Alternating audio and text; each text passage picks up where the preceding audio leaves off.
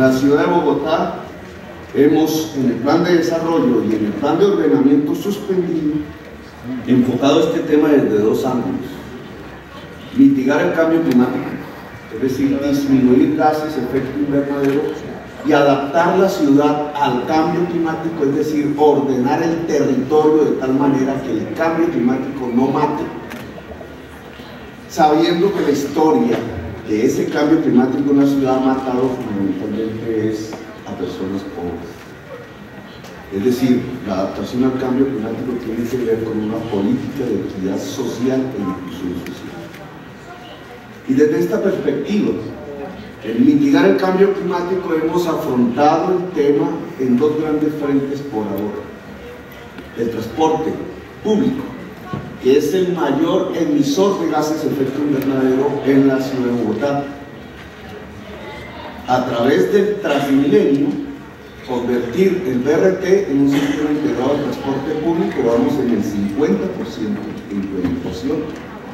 Implementar las primeras líneas de transporte masivo 100% eléctricas, cero emisión, dos líneas de tranvía cuyos estudios ya finalizaron, la primera línea del metro cuyo estudio finaliza en México y la primera línea del cable que es eléctrico cuyos estudios ya finalizaron y estamos en etapa de licitación para construcción. Pero además tratar de transformar los vehículos motorizados que tenían eh, fuente fósil, sea gasolina, sea diésel, en eléctricos. Para lo cual hemos pedido que las licitaciones de las fases de BRT tengan un alto componente eléctrico las pretroncales, que son un, un gradiente inferior al BRT, como la, que se está construyendo en la séptima, tienen vehículos híbridos y así se expandirá hacia la primera de mayo, hacia la carrera 68 y hacia la avenida Boyacá. El segundo frente para mitigar el cambio climático son los residuos sólidos. Estoy absolutamente de acuerdo con usted, señor delegado de la ciudad de Barcelona, no es ético plantear un sistema de saneamiento básico sobre la base de rellenos sanitarios, que en Colombia hay mil, la mayoría cielo abierto, es decir, cuando el residuo se entierra o queda compactado, produce gas metano, que sale a la atmósfera o va a través de los líquidos lixiviados hacia los ríos. El gas metano es el principal gas efecto invernadero, muy por encima del gas carbónico que expiden los vehículos. Y es la segunda fuente de emisión de gas efecto invernadero de la ciudad de Bogotá. Por eso si queremos a nuestros niños, tenemos que salir del esquema anacrónico de saneamiento básico sobre la base de relleno sanitario, que en Colombia está cimentado sobre empresas privadas, algunas de ellas con vínculos fuertes con el narcotráfico y el paramilitarismo que empezando por los orgánicos, que son los más en la ciudad de Bogotá, sean aprovechables por la sociedad en vez de enterrables para rellenar nuestros suelos y nuestro. Por eso la empresa de energía eléctrica de Bogotá tiene como misión producir la primera planta de producción de energía eléctrica con residuos sólidos allí mismo en el relleno sanitario para escaparnos de ese modelo de economía. Y en segundo lugar, y desde otra perspectiva, la adaptación al cambio climático, que es lo fundamental para la ciudad de Aquí estamos hablando de un ordenamiento territorial diferente. La ciudad no debe expandirse. Hasta lo posible no debe expandirse. Si la ciudad se concentra en su centro paulatinamente, la ciudad es racional desde el punto de vista energético y sostenible. ¿Qué significa esto?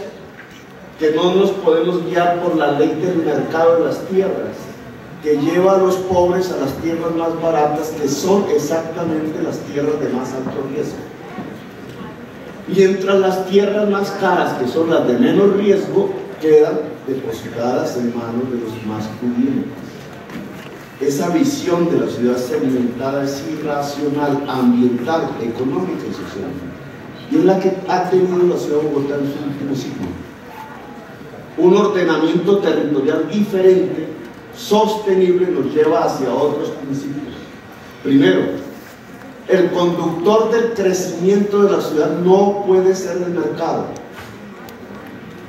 O en otras palabras, dado que el mercado ha sido dominado por los poseedores de tierra de la ciudad, captadores de rentas, cuyo vocero específico es Camacol y la Federación de Londres, al contrario, la ciudad tiene que ser regulada y ordenada por el Estado.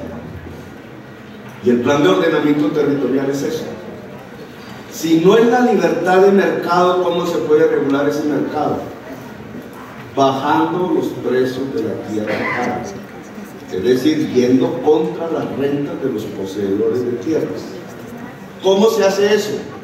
Poniendo cargas a la construcción en términos de espacio público. Que el constructor mitiga a partir de elevarse, es decir, más gente viviendo más densamente y bajando el precio de la tierra a la cual le compra el poseedor de la tierra. Así se abarata el precio de la tierra. En los pocos meses que duró el plan de ordenamiento territorial, pudimos constatar los precios de la tierra empezaron a bajar en el centro de la ciudad, lo cual llevaba a una dinámica de construcción en el centro de la ciudad, lo cual es lo que buscamos que todos los sectores sociales puedan vivir más cerca del centro, se pueda caminar, se pueda usar la bicicleta, se use menos el transporte motorizado, se abarate por tanto la ciudad y se vuelva más incluyente y democrática. Si nosotros usamos menos energía para movilizarnos, somos más sostenibles. Los pocos meses del ordenamiento territorial nos dieron buenos resultados efectivamente se bajaron precios de la tierra en el centro y efectivamente pudimos construir vivienda para los más pobres en el corazón de la ciudad. Suspendido el POT, queda un gran interrogante. Uno, ¿quiénes lo suspendieron? Dos, ¿podremos revivirlo a partir de una discusión política centrada en estos temas de sostenibilidad ambiental en la ciudad?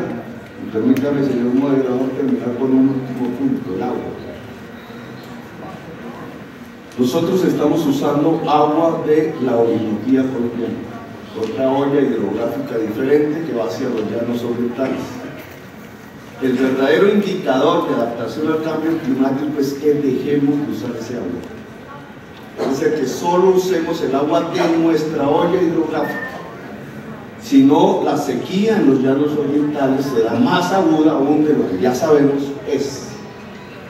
Eso significa disminuir consumos internos y aprovechar nuestra propia agua.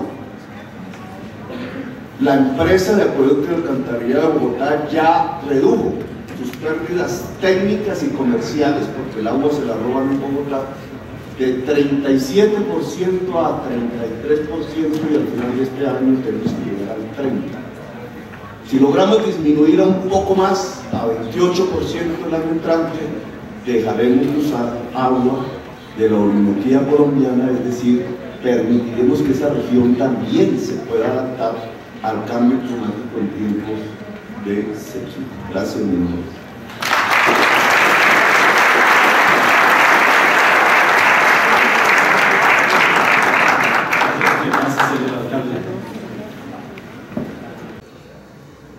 Hay un sistema de conocimiento público que en mi opinión es de se le denomina RECA y lo maneja la Secretaría de Medio Ambiente en cuatro elementos fundamentales. El agua, si se reutiliza bueno, si hay instrumentos ahorradores de agua con los sistemas de agua potable del edificio. Energía, si hay iluminación natural, nosotros tenemos una gran ventaja en Bogotá, es que no necesitamos sistemas de, de, aire acondicionado, etc. Es un enorme, una enorme ventaja de la ciudad de Bogotá porque ahorra energía que en otros casos es el principal determinante del consumo de energía. Queremos implementar un sistema constructivo que adopte los techos verdes, los muros verdes, y vamos a empezar por las estaciones de Transmilenio y eh, finalmente hay un sistema de ecourbanismo, así mismo que implica e integra esos estas visiones y tuvo un capítulo específico en el plan de ordenamiento territorial hoy suspendido, pero que vamos a revivir a través del código de urbanismo, que no solamente haga reconocimientos públicos, es lo que hoy hay, a este tipo de eh, edificaciones que ahorran energía, sino que puedan provocar reducciones sustanciales del impuesto predial, abaratamientos incluso de los servicios públicos y que hagan muy rentable la producción de edificios, edificaciones ecosostenibles dentro de la ciudad. El código tiene una inversión de 4 mil millones de pesos y el responsable en este momento de entregarlo a la ciudad es la Secretaría del Medio Ambiente. Así que, aún suspendido el POT que tenía el capítulo específico de esta materia, podemos revivirlo a partir de un código que se va a expedir por decreto de la alcaldía, por lo que permiten las normas, apenas se terminen las, los estudios para el primer código del economía de Colombia en la ciudad de